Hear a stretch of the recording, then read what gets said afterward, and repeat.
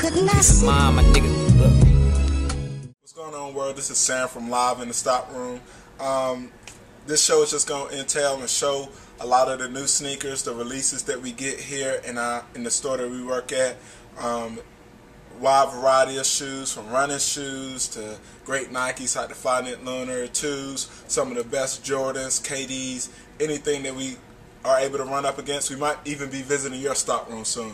So just stay tuned with us this season just to check out different looks, different reviews of shoes, and what's our opinion on them. So hey, hope you enjoy and follow us all season with a new babe. Damn, not good enough, I guess the story of my life. My uncle's home getting drunk almost every fucking night. Got my dad at home stressing, trying to save his brother's lives. My niggas need jobs and my whole family fight. My grandma 68 years old, smoking cigs all night. My mama and the hospital trying to get her spine right. And what the hell I'm doing? Sitting on the couch, or the beach, trying to come up with some shit to talk about. But if I make it out, I swear to God, I got. What's going on? This is Sam from the, with the first episode from Live in the Stockroom. Here on this show, we'll show you some of the newest releases that's coming out this weekend.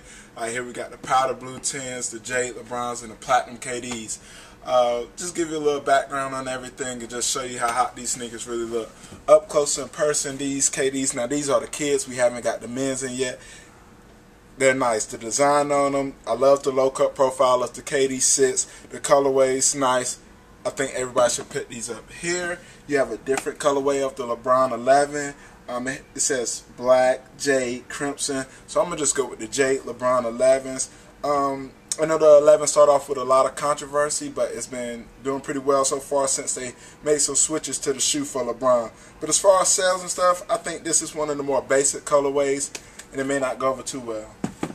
And then, of course, here you have the classic Powder Blue 10. Following up with the Powder Blue 9s, these were released in 94, made popular by Jerry Stackhouse just for, they, they're called the Charlotte kind of in the series pack in the sense that Jordan released one for Chicago. Of course, you have Chicago 10, Seattle, Orlando, Sacramento, and then this one. So, again, dope shoe. Y'all check them out.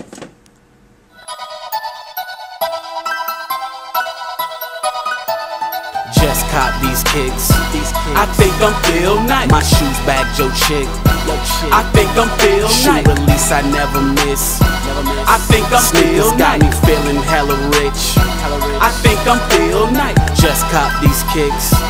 I think I'm feel nice. My shoes back, Joe Chick.